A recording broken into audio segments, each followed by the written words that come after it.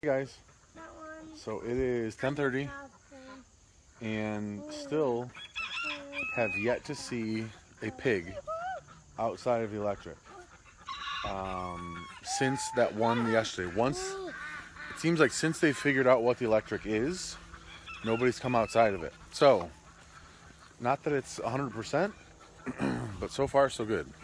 I have to say, I really like how easy it is for me to get in and out of this fence. Um, you know, if I need to carry a feed bag or something over, I can throw it over my, you know, my bag, my back. Boom, I'm in. It works really slick. Um, I'm waiting for one of these guys to get zapped. But like I said, the people that we bought these from maybe had one, I think probably at maybe 18 inches, maybe about here. But that's all they had. And um, like I said, I kind of like it. I don't think this is good. The ducks are using the water trough. Not sure how that duck even got in there. See if this duck can get out of here.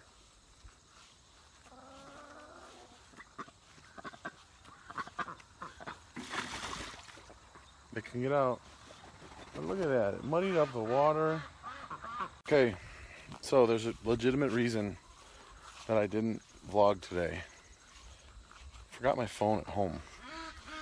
I um left to take the kids co-op and dropped off Homestead Boy 3 and Homestead Girl 3 and I realized I didn't have my phone. I'm gonna do what I shouldn't do again and climb a fence while talking on video. Let's pull up these um, pools for these ducks. Um, so I didn't have uh, didn't have my phone, so I couldn't vlog. Uh, I was coming over here to check and see what the piggies are doing. And I don't want to call it a success yet, but since I put up the electric, I haven't had any piggies out. So I think I'm going to go ahead and call it good. The dog just got zapped by the fence. Actually stretched out this strand right here. I had to loop it around there again. Just trying to make sure that it didn't get pulled out of anywhere.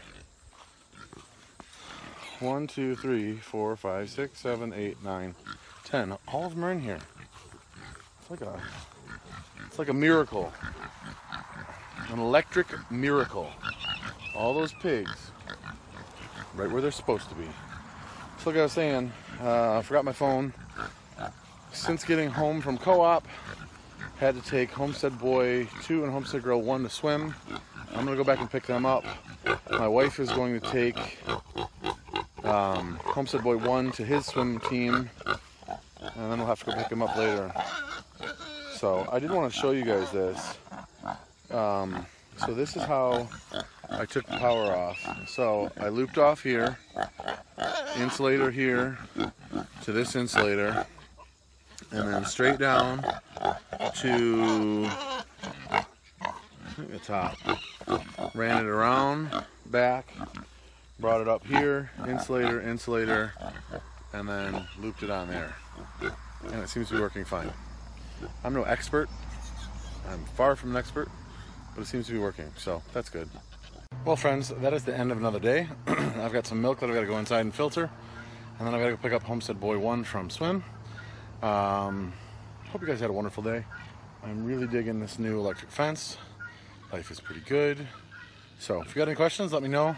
If I get a gallon and a half or more, maybe I'll let you guys know. But otherwise, I'll see you guys tomorrow.